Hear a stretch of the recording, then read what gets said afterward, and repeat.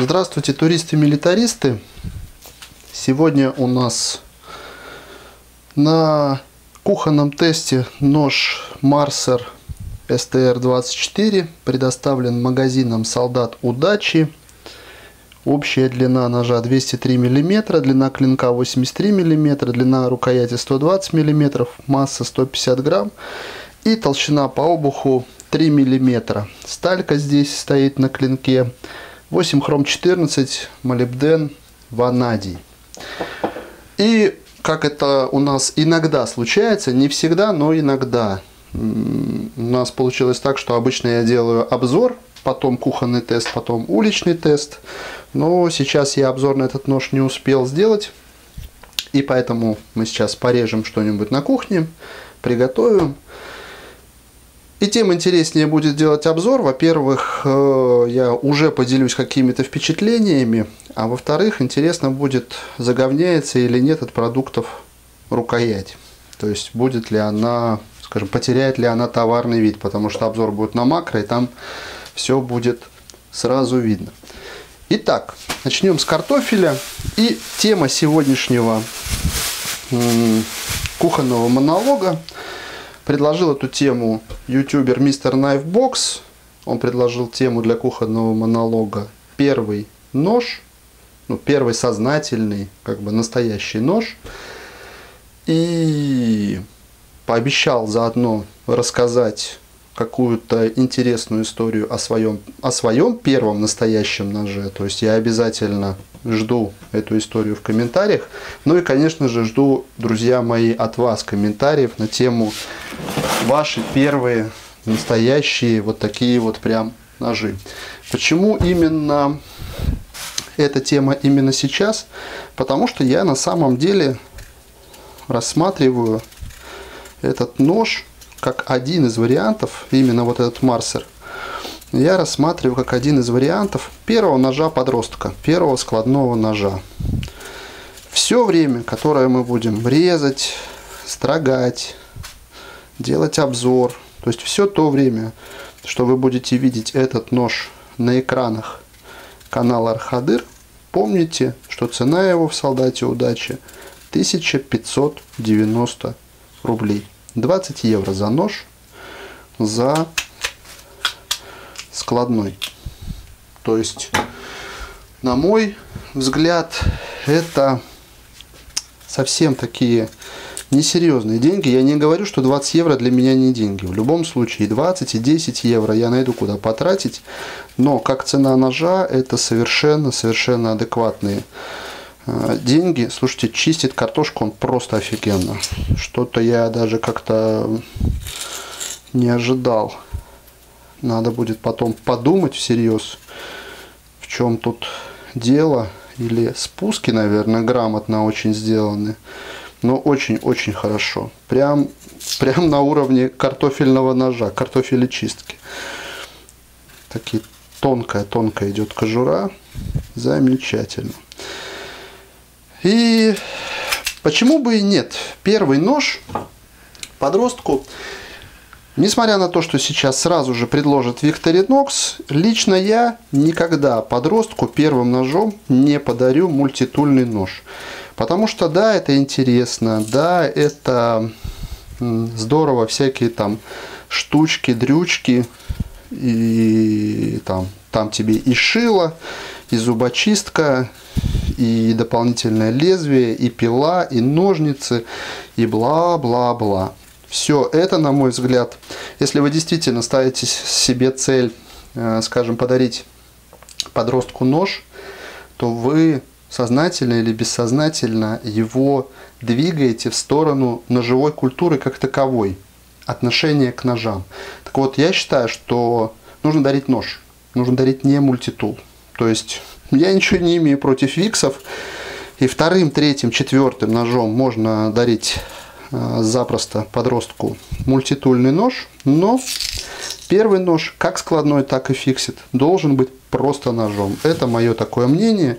Потому что, чтобы действительно ребенок или подросток, он действительно понимал, насколько это, э, скажем, насколько этот предмет, вот он сам по себе самодостаточен. Вот, нашел, нашел все-таки возможность выразиться правильно.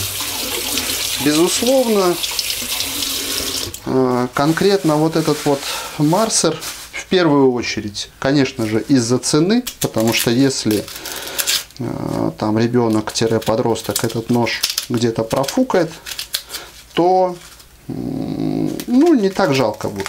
Я больше скажу, этот нож запросто подойдет в качестве EDC-шника резака взрослому. И то же самое. Э, если вы возьмете какой-нибудь брендовый нож, там, я не знаю, ну хотя бы, ну, хотя бы баксов там за 100, даже не больше, вы все равно над ним будете трястись. Будете, ребят. Никуда не денетесь. У вас будет вот это вот отношение лишний раз там не ковырнуть, лишний раз что-то там не резануть по какому-то ну, непонятному материалу, по какому-то твердому материалу. Здесь купил, будет работать, каждый день будет в использовании, режешь, режешь, режешь. И почему? Те же самые 20 евро. Сломал не жалко. А, безусловно, есть ножи поменьше для именно скажем, EDC. Сейчас я наконец-то одну секунду выключил посудомойку. Продолжаем. А, безусловно, есть ножи а, поменьше, но я считаю так, что именно, скажем, если это не совсем прям малыш, если это не совсем детская рука, то здесь как раз вполне, я не говорю вот конкретно за этот нож, но примерно вот такой нож. В данном случае у нас на э, кухне именно вот такая вот модель STR-24, и мы говорим вот о нем, я говорю о нем. То есть STR-24 запросто в качестве первого ножа. Какой-то другой, почему бы и нет. Почему конкретно этот? Посмотрите, он, во-первых, замечательно режет, у него понятная геометрия, без каких-то ну, э, излишних вывертов. У него нормальные спуски, все сделано. У него такая дуракоустойчивая, прям скажем, сталь, спокойная нержавейка, без каких-то тоже лишних понтов. И мне очень нравится эргономика рукояти. Про эргономику рукояти я обязательно, конечно же, на обзоре скажу отдельно, но мне эта рукоять очень нравится, действительно. То есть для ножа за там 20 евро это действительно прям вот очень хорошее, я не говорю там отличное, я не говорю самое лучшее, это очень-очень хорошее сочетание каких-то вот таких вот качеств. Поэтому почему бы и нет. Смотрите, лук режет на ура. Вообще такой действительно, действительно хороший резачок. Я так заболтался, что тот лук, который я собирался порезать кольцами, я в другую емкость, в общем, емкости для лука перепутал. Ну, ничего страшного. Просто поменяем местами и все. Так что, конечно же, я, раз я выбрал эту тему для кухонного монолога, то мне нужно рассказать о своем первом ноже и, наверное, о своих первых ножах будет так правильнее выражаться.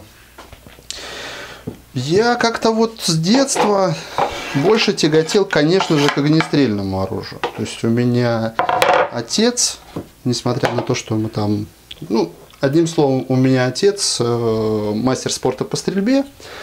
Мамуля все время ходила там на какие-то, сдавала нормы ГТО, ходила на какие-то, я не знаю, там соревнования именно вот такого вот ГТОшного направления там от своего производства и регулярно брала какие-то призы за стрельбу, то есть тоже стреляла очень хорошо. На такой, скажем, крупный помидор у нас немного не хватило длины клинка, то есть чуть-чуть при разрезании задел. Отойдя назад в сторону, чуть-чуть вернувшись, Картошка 5, лук 5. Вообще, просто супер. Поехали.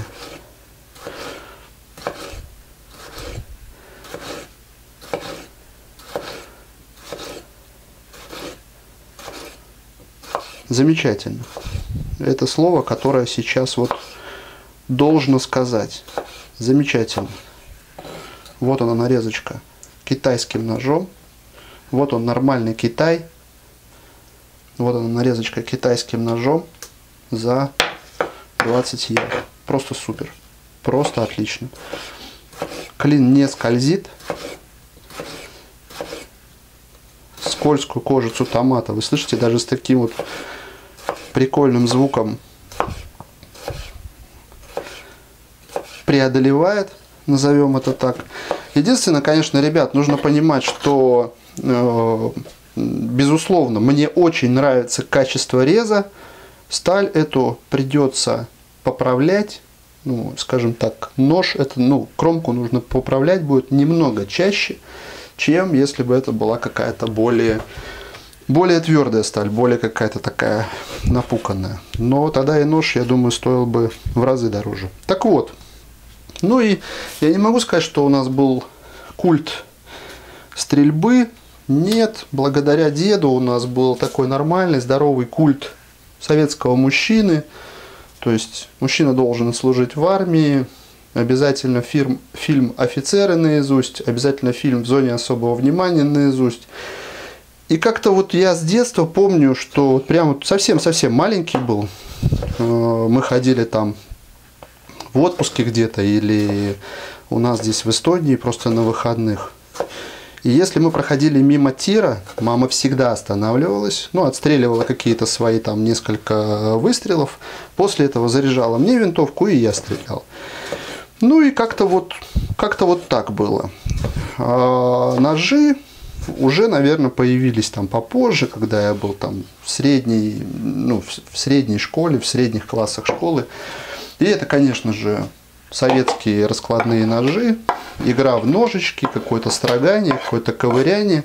И, безусловно, у меня был нормальный нож, обычный, кухонный советский нож с деревянной рукоятью. Ну, он такой как бы полууниверсал, полукухонный. Для того, чтобы ходить за грибами. Да, это, это было как у всех. Помидоры 5 с плюсом. Просто супер. Я на самом деле пребываю сейчас в состоянии такой легкой эйфории от этого ножа, потому что нарезает он, ну, ну просто офигенно. Нарезает он гораздо больше, чем стоит. И потом как-то вот ножи-ножи, когда я уже повзрослел, там устроился на какую-то свою работу, потихоньку началось вот это вот увлечение, и у меня была какая-то коллекция ножей. Мне очень жаль, что вся коллекция, она со мной не осталось, то есть полностью я, скажем, ее лишился, и у меня нет возможности показать эти ножи, у меня нет возможности снова посмотреть, может быть, даже посмеяться над собой. Потому что помимо откровенного говна, там, ну, действительно, помимо откровенных каких-то, сейчас просто с улыбкой вспоминаю, непонятных ножей, там были действительно очень интересные экземпляры, реально интересные экземпляры. А, например, был штык к австрийской винтовке а, еще до военного, то есть я думаю где-то а, плюс-минус период Первой мировой. И эту вещь я бы, конечно, сейчас с огромным удовольствием взглянул на нее уже глазами нынешнего архадыра, который повертел энное количество ножей в руках. Первый мой фирменный нож я очень хорошо помню, потому что это была действительно веселая история. Я где-то в комментариях писал на эту тему. Огурцы у нас нарезаны просто замечательно, просто суперски, посмотрите. Очень легко, очень лайтово режет нож. Прям как будто бы рожден для кухни. То есть, скажем, если вы его берете на карман, э, как EDC-шник, то совершенно не придется напрягаться при какой-то вот офисной нарезке, при какой-то вот, ну, командировочной нарезке. Без проблем. Ну и опять же, такой нож прикольно дарить. Почему? Потому что вот вы видите, качество реза нормальное, краснеть не придется, но при этом не обязательно же говорить, сколько он стоит, правильно? Так. Момент истины. Маринованная паприка. Баночка это у нас. Да откуда вы беретесь-то? Вот какая-то одна с осени еще летает. Я все не могу ее поймать, потому что, представляете, вот как бы ее нет и нет. Стоит мне только начать снимать тест, начинает вот здесь вот крутиться передо мной. Ну что ж такое-то? Малюсенькая такая мошка. Просто отлично. Просто суперски режет. По овощам нареканий ноль, одни только похвалы. Несмотря на то, что вот эта банка э, паприки, она у них явно какая-то перетермиченная, то есть паприка очень мягкая получилась, практически разваренная. Вот. Просто супер. Просто супер. Ну, я не ожидал. Ну и раз мне параллельно приходится не только болтать о своем, но и комментировать действия ножа, то свою душещипательную историю я продолжу рассказывать на курице. Ну так вот. То есть получилось так, что я э, в таком довольно юном возрасте устроился на интересную работу, познакомился там с очень интересными людьми, Э, с людьми, которые буквально созданы были, наверное, для того, чтобы постоянно нянчить в руках железо. И, в общем, попал в очень правильный коллектив. Сразу же научился неплохо стрелять, метать все, что можно было метать, все, что было, я не знаю, имело хотя бы одну грань острую или один какой-то кончик острый. Ну и я мне понравился в охотничьем магазине нож. Назывался он э, Айтер Батера. Вы даже можете загуглить. Я сейчас вспоминаю, я не могу это действительно вспомнить без улыбки, потому что это какой-то какой-то был просто ахтунг. Это стилетообразный э, нож с металлической рукоятью то есть, ну, какой-то какой реально бред. Вот с высоты прожитых лет это реально бред. Но я этим ножом просто заболел. Я ходил в магазин, крутил его в руках, дышал на него, пыхтел, сопел. У меня тогда была очень-очень небольшая такая зарплата. Ну и с учетом того, что там, скажем, расходы превышали доходы, какие-то именно семейные, ну, я как-то действительно дышал. Стоил он, как сейчас помню, 600 крон эстонских. Я даже не буду сейчас переводить в, там, в современные какие-то деньги. Неважно. И у меня, когда я в конце концов все-таки созрел, у меня порвались джинсы. И в то время у меня было много, скажем, костюмов. Я носил там костюмы, а джинсы были всего одни.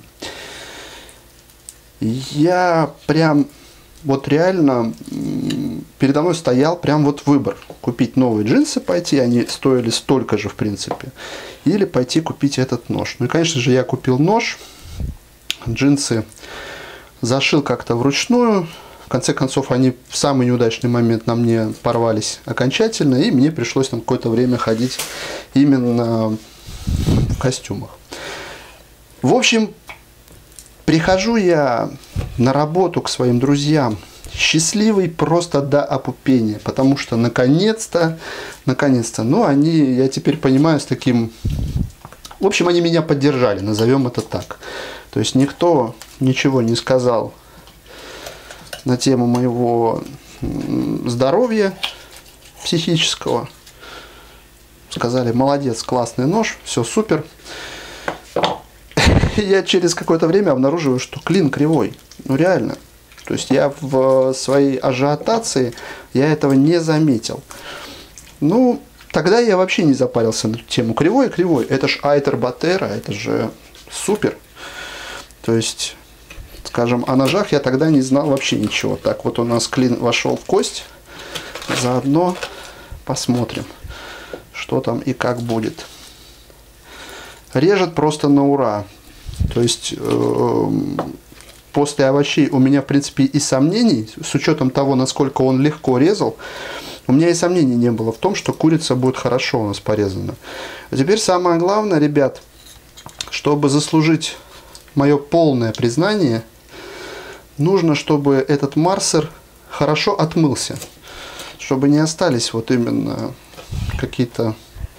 Не осталась какая-то органика ни на рукояти, ни внутри ножа, ни на клинке. Тогда тогда я смело могу сказать, что 100% рекомендую. Потому что на улице, ну что там, на улице э, буквально взять им построгать, разумеется, никто таким ножом, слайнер-локом не будет там ни батонить, ни рубить даже на тестах, потому что это, это даже теоретическое нецелевое использование ножа представляется мне как полный бред. То есть, ну, только вот построгать, какую-то лайтовую работу сделать. Поэтому, если он нормально очистится, если вот эта текстура вся, она не впитает в себя гадость, то запросто можно рекомендовать, в том числе как первый нож, в том числе как подарок. Именно как складной нож.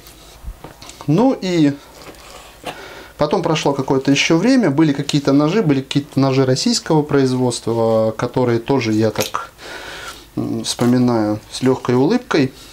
Примерно чуть, наверное, позже мне был подарен нож Смерш 3, который до сих пор живой и до сих пор в строю, который я метал, наверное, я не знаю, если счетчик поставить, именно количество бросков переваливает за тысячи. Заметили? Вот, вот, вот оно. Нарезаю, забыл объяснить. Чищу, чищу картофель. Вот сюда вот встает средний палец. Оп, и поехали. Нарезаю дальше, нарезаю вот так. Нарезаю теперь курочку. Сюда э, указательный палец. Вот про вот конкретно этот изгиб – обязательно я на обзоре очень подробно на этом остановлюсь. Почему? Потому что это на самом деле не просто одна из самых, это моя самая любимая фишка в рукоятях как складных, так и фикситов ножей. Ну и, скажем, первый по-настоящему действительно такой вот э, осознанно нож, который прям гордо носит звание ножа. Это, конечно, спайдерка Military. Мне подарила Юля этот нож. И там тоже, ну, она видела, что я уже все, у меня уже к тому моменту было энное количество, там, наверное, ну, десятка, два с половиной, три точно было фиксидов. И я как-то вот потихоньку, и вот я чуть вам не соврал, нет, потому что шестерка T-Light была раньше. Да, первый нож который вот именно такой э, с именем, это э, Cold Steel э, T-Light. Даже не шестерка, вначале была четверка, мне ее показалось мало, и я продал четверку и купил шестерку. Да. То есть, наверное, вот моя именно как бы нажимание в плане складных ножей, она началась не так, скажем, давно, ну сколько тут, несколько лет прошло, именно с Cold Steel T-Lite 4 и T-Lite 6. И как-то сейчас вот я на самом деле шестерки хватает, четверку я не хочу покупать, ну как бы вот в пару не вижу смысла. Есть очень много именно ножей э, неплохих то есть четверка тоже неплохой нож, но есть очень много неплохих ножей, скажем, таких средних размеров. Поэтому шестерка, да, это там совершенно другие эмоции, там именно нож для того, чтобы дарить радость от одного буквально раскрывания ножа. Но вернемся к нашему герою, теперь уже герою. Просто, просто офигенно. Я вам абсолютно честно говорю. Хотите верьте, хотите проверьте. Нож отработал просто замечательно, неожиданно замечательно. Потому что я был готов к тому, что уже придется как-то снисходительно, знаете, подбирать какие-то эпитеты. Ну, ну вы же понимаете, ну блин, 20 евро, ну что вы хотите? Что вы хотите? Хрен там ночевал. Просто офигенный рез, классная эргономика, мне очень понравилось, очень понравилось. То есть солдат удачи э, прислал мне вместе с Марсером э, нож Steel Wheel Кураж, он будет у нас скоро на обзоре и на тестах. И я, конечно же, скажем, какой-то именно шоу-эффект больше ожидал от ножа Кураж. Ну, там такая сабля, все здорово, все классно. Ну, и думал, что вот этот нож, это будет такой, скажем, ну, просто вот обзор, констатация каких-то качеств могу сказать, что я сегодня реально получил удовольствие от работы на кухне. И, грубо говоря, даже и уходить не хочется. То есть, я думаю, что мы сейчас этим ножом еще что-нибудь порежем. Просто замечательно. Просто супер.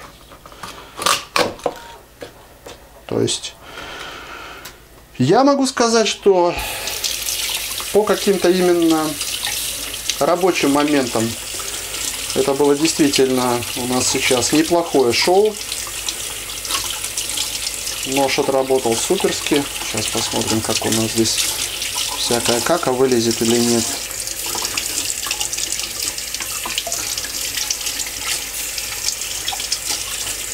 Мою холодной водой, потому что ледяная вода, она сразу же превращает как бы э, вот этот вот куриный жир, он становится прям видным сразу есть я думаю, что все-таки теплой водой его стоит после этого промыть, потому что тут прям не заморозился жирок. Замечательно. Все, что я могу сказать, и даже, может быть, стоило бы компании Марсер задуматься о том, чтобы какой-то вот не такой вот веселый весенний кричащий цвет избрать, а какой-то поставить на рукоять, ну там то же самое, тот же самый камуфляж или какой-то цвет там армейский зеленый. И даже, возможно, поиграть с марками стали на клинке, потому что сами по себе ощущения именно от эргономики ножа, от того, как вот он заточен, как он режет, пятибальные. Нет ни одного момента, к чему я мог бы придраться. Спасибо за просмотр. Всего доброго.